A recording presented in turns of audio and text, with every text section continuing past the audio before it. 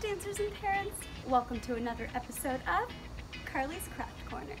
Today's crafts are inspired by the story, I Got the Rhythm. Let's get crafting!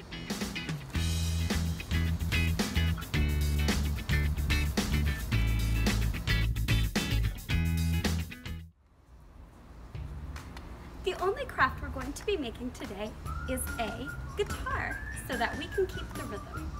The materials that you need are an empty tissue paper box, a rubber band, and finally, whatever decoration you want. I'm using spray paint and paint, but you can use stickers, you can glue things on with Elmer's glue, make it your own.